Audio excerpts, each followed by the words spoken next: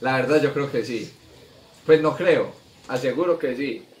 Es estar en contra de uno mismo. ¿Por qué? Porque no demuestra lo que es, lo que en sí quiere expresar la persona. Sí.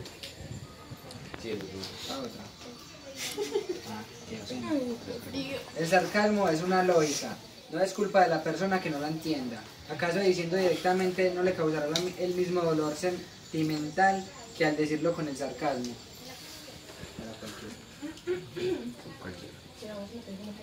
La vuelve a repetir, por favor.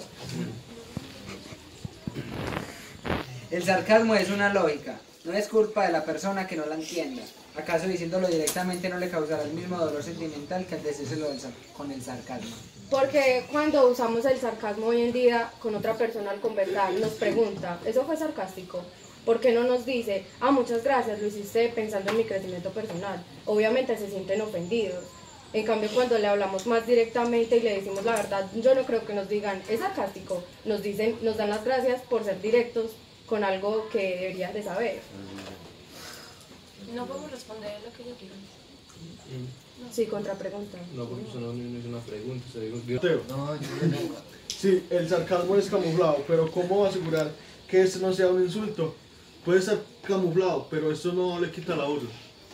Porque todo depende del sentido con el que se haga la oración. Si la oración sarcástica es con, con el sentido, o sea, con la- el propósito de humillar al otro, eso obvio va a, te- va a tener un, pues, un valor no ético. Pero si tú quieres enseñarle a otro algo, quieres colaborarle, puedes utilizar el sarcasmo como medio de hacer, pues, para hacerlo. No necesariamente tiene que ser grosero. Para cualquiera. Para Elizabeth, ¿quién nos puede asegurar que la primera persona en usar el sarcasmo lo hizo pensando en el bienestar colectivo y no propio? Ya. Ya, sí, ya. Ah, bueno. Ya. Bueno, ahí dice que cómo saber si no lo hace en colectivo o si lo hace propio. El sarcasmo es una frase o una oración utilizada para decirle la verdad a alguien con una manera lógica. Las personas se sienten insultadas por eso, pero realmente no tendría coherencia tenerlo, pues pensarlo como si fuera individual o por mi bien propio. Porque si yo digamos le voy a corregir algo a, a Juliana o le voy a responder algo sarcásticamente a Juliana, ¿cómo lo hace por mi bien propio si al fin y al cabo es una oración lógica? ¿Por qué no hacerlo directamente? El sarcasmo es algo lógico y si es algo lógico, ciertamente es algo directo. Ya le tienen las preguntas. Las preguntas. Ya terminó. Para, para Elizabeth, es una contrapregunta a la pregunta que ya hice. Pues. Sí. Eh, es- ¿Qué es mejor?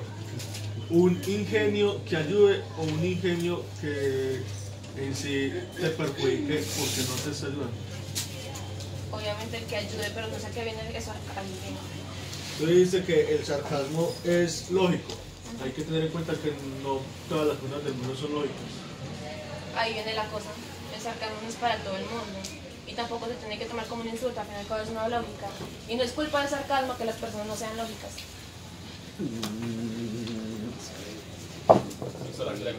Por detrás hay otra. Pero espere, falta Eh, para Michael, no hemos tomado el sarcasmo como una forma de ofendernos entre nosotros ahora en día. El sarcasmo se lo han tomado de esa manera, pero es porque la persona como tal no entiende.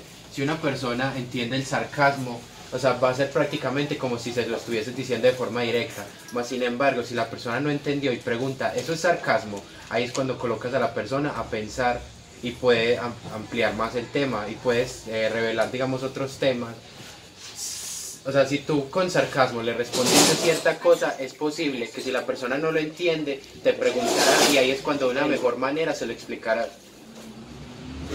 Para Elizabeth, en una sociedad llena de egocentrismo, co- eh, corrupción y sarcasmo, ¿es posible que alguien piense que puede ayudar en el sentimiento de los demás, siendo ofensivo cuando hay formas más susceptibles de enseñar?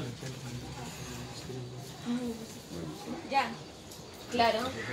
Es lo mismo, uno va a tomar, lo va a tomar como un ejemplo. Los psicólogos, dijiste que estamos en una sociedad donde ya son egoístas, sarcásticos, egocéntricos. O sea que los psicólogos son iguales.